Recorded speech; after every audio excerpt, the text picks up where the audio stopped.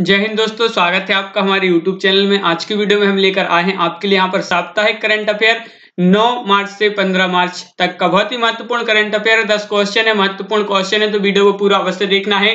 अगर आप चैनल पर पहली बार आए हैं तो चैनल को सब्सक्राइब कर लें बेल आइकन दबाएँ ऑल पर क्लिक करें, ताकि ऑल वीडियो की जानकारी सबसे पहले आपके यहाँ तक पहुँचे। ज़्यादा से ज़्यादा वीडियो को शेयर करना है और वीडियो को लाइक करना ना भूलें। तो चलिए स्टार्ट करते हैं आज का अपना ए वीडियो आज का अपने यहाँ पर फ़र्स्ट क्वेश्चन दिया गया है, अंतरराष्ट्रीय महिला दिवस निम्न में से किस दिन मनाया जाता है? बहुत ही महत्वपूर्ण क्वेश्चन है अपना ये। और अंतरराष्ट्रीय महिला दिवस जो मनाया जाता है वह कब मनाया जाता है? इंटरनेशनल वुमेन्स डे तो आपका सही आंसर है विकल्प नंबर एक, यानी कि 8 मार्च को। देखिए, अंतरराष्ट्रीय महिला दिवस दुनिया भर में जो है 8 मार्च को मनाया जाता है। इसे पहली बार अमेरिका के न्यूयॉर्क शहर में कहाँ पर मनाया गया था? अमेरिका के न्यूयॉर्क शहर में। कब मनाया गया था? 1909 में। 28 फरवरी 1909 में मनाया गया था। इसका आयोजन अमेरिका की सोशलिस्ट पार्टी ने किया था। अगला क्वेश्चन क्या है? क्वेश्चन नंबर दो यहाँ पर पूछा गया है, केंद्रीय प्रदूषण नियंत्रण बोर्ड ने देश के 112 सबसे प्रदूषित स्थल में से, स्थलों में से किस राज्य को पहले स्थान पर रखा है? 112 सबसे प्रदूषित स्थलों में से पहले स्थान पर किसको रखा है? कौन सा राज्य है जिसको रखा है? तो आपका सही आंसर है दो का विकल्प नंबर सी, यानी कि उड़ीसा। उड़ीसा आपका यहाँ पर सही आंसर है। देखिए केंद्रीय प्रदूषण नियंत्रण बोर्ड सीपीसीबी ने देश के 112 सबसे प्रदूषित स्थलों में उड़ीसा को पहले स्थान पर रखा है और सीपीसीबी ने उत्तर प्रदेश को दूसरा और दिल्ली को इस सूची में तीसरा नंबर दिया है। और पर्यावरण मंत्रालय के अनुसार प्रदूषित स्थल क्षेत्र ऐसे हैं जहाँ जो है कूड़े, कचड़े में विषैले और खतरनाक पदार्थों की मात्रा अत्यधिक होने से आसपास रहने वालों की सेहत पर प्रतिकूल असर इसका पड़ता है। अगला क्वेश्चन क्या है? उत्तर प्रदेश सरकार ने किस योजना के तहत गोल्डन कार्ड बनाने के लिए एक अभियान शुरू किया है? तो किस योजना के तहत गोल्डन कार्ड बनाने के लिए एक अभियान शुरू किया? क्वेश्चन नंबर तीन का सही आंसर है आपका। विकल्प नंबर तीन का आपका सही आंसर है डी, यानी कि क्या है राइट आंसर आयुष्मान भारत योजना आपका सही आंसर है। देखिए, उत्तर प्रदेश सरकार राज्य भर में आयुष्मान भारत योजना के तहत गोल्डन कार्ड बनाने के लिए एक अभियान शुरू करेगी। इस अभियान का उद्देश्य राज्य भर में आयुष्मान भारत प्रधानमंत्री जन आरोग्य योजना के बारे में जागरूकता फैलाना और लाभार्थियों, विशेषकर रूप से ग्रामीण दूर के क्षेत्रों में रहने वाले लोगों को इसके बारे में सक्षम बताना।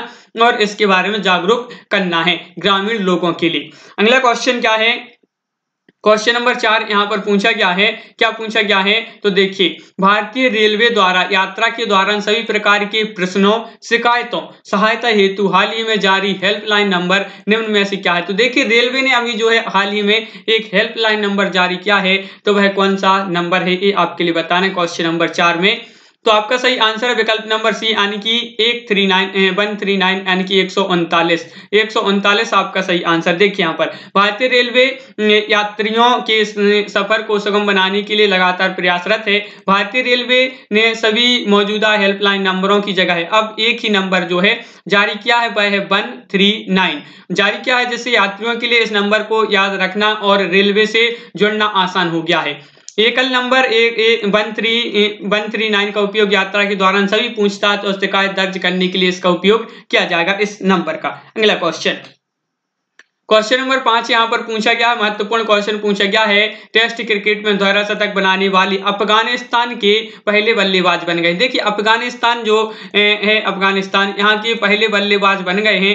टेस्ट क्रिकेट में दोहरा शतक जमाने वाली। कौन है वह बल्लेबाज? तो पाँच का सही आंसर आपका होगा विकल्प नंबर बी यानी कि हसमत उल्लाह शाहिदी विकल्प नंबर बी आपका यहाँ पर राइट आंसर है।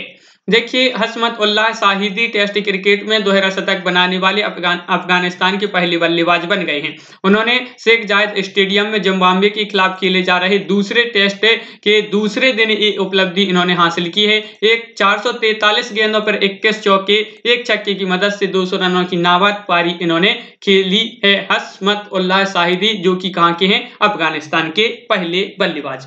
अगला क्वेश्चन क्या है? निम्न में से किस अफ्रीका देश के किस अफ्रीकी देश के प्रधानमंत्री हामिद बकायोको का जो है कैंसर के कारण छप्पन वर्ष की उम्र में इनका निधन हो गया। ये किस अफ्रीकी देश के हैं? तो क्वेश्चन नंबर छह का सही आंसर आपका जो होगा, वह विकल्प नंबर सी यानी कि आईवरी कोस्ट आईवरी कोस्ट आपका यहाँ पर सही आंसर है, विकल्प नंबर सी राइट आंसर है।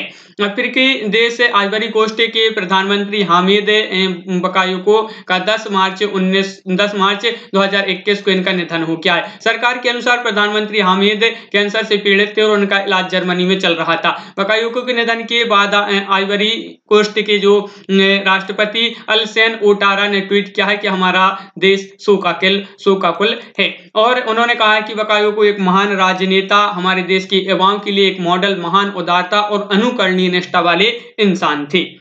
अगला क्वेश्चन क्या है? अगला क्वेश्चन देखिए। हाल ही में किस देश ने कोविड 19 महामारी से लोगों को बचाने के प्रयासों को बढ़ाने हेतु अपने पहले बड़े टीकाकरण क्लिनिक का उद्घाटन किया है? तो जो देखिए, एक आप, ये क्या है? एक टीकाकरण है, सबसे बड़ा टीकाकरण है उस देश का। कौन से देश का है, ये आपके लिए बताना है। जिसका नाम है क्लिनिक और इसका उद्घाटन क्या है।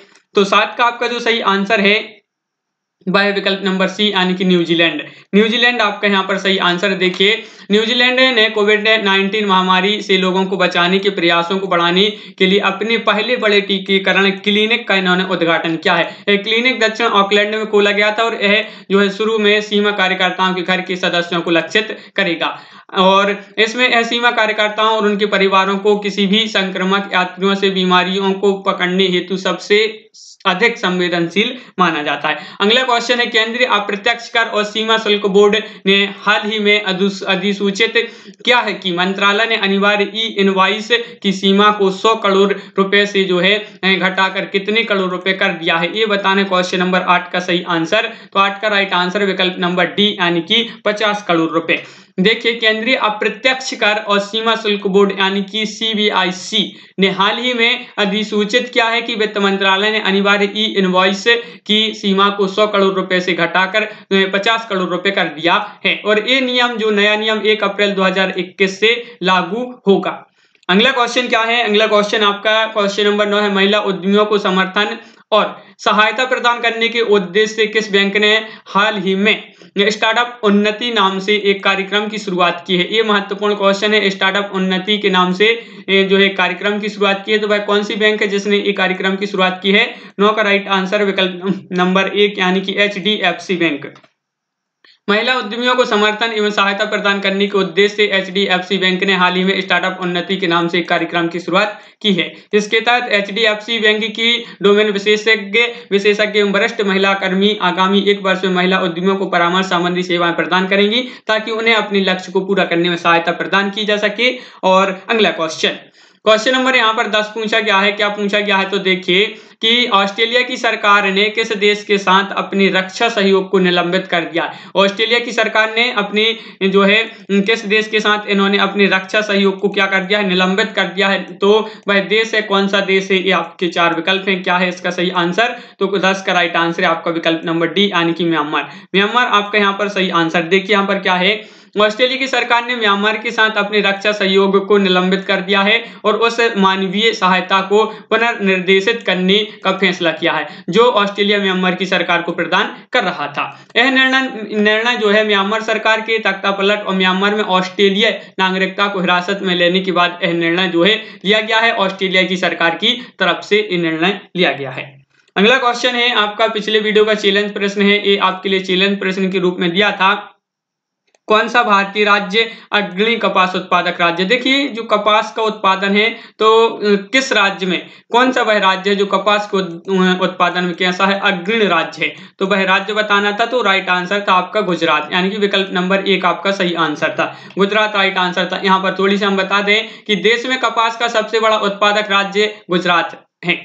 लेकिन जो है गुजरात रहा। लेकिन 2017 की रिपोर्ट के अनुसार महाराष्ट्र ने गुजरात को दूसरे नंबर पर धकेल दिया। तो यहाँ पर आपके लिए याद रखना है, यहाँ पर महाराष्ट्र होगा आपका सही आंसर। महाराष्ट्र 2017 की रिपोर्ट के अनुसार जो है महाराष्ट्र है, इसने गुजरात को दूसरे नंबर पर धकेल दिया और देश का सबसे बड़ा कपास उत्पादक बन गया। दोनों राज्यों की तरफ़ से जारी हुई 2016-17 के तीसरे अग्रिम अनुमान से यह जानकारी निकलकर सामने आई कि महाराष्ट्र में इस साल कपास का उत्पादन सौ लाख गांठ से भी जो है ज़्यादा अनुमानित किया गया है। अगला क्वेश्चन क्या है? तो क्वेश्चन नंबर आज का अपना फ़र्स्ट क्वेश्चन चैलेंज प्रश्न है, जिसका आंसर आपके लिए कमेंट में लिखना है। तो क्या है कि दशीगाम वन्य जीव अभ्यारण्य निम्नलिखित में से किस राज्य में स्थित है? चार विकल्प आपके यहाँ पर दिए गए हैं, पश्चिम बंगाल, मध्य प्रदेश, छत्तीसगढ़, जम्मू कश्मीर, चार विकल्प ये हैं आपकी। तो दशीगाम वन्य जीव जो है, कहाँ पर है, किस राज्य में है, और कहाँ पर है, ये आपके लिए बताना है।